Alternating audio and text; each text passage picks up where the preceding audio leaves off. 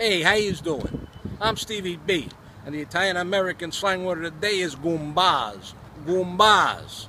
Me, Angelo, Carmine, Meaty and Petey and Ralphie go way back. Ever since our days that Sister Mary Catherine was smacking our knuckles for causing trouble at St. Jude's. We were tight then, and we're tight now. Those fellas, they're my goombas. Medigan.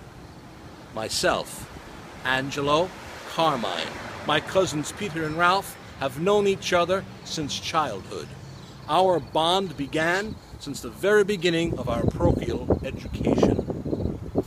We were close then, and we're very close now. I look at these gentlemen as my closest friends. Goombas, and remember, sharing is caring.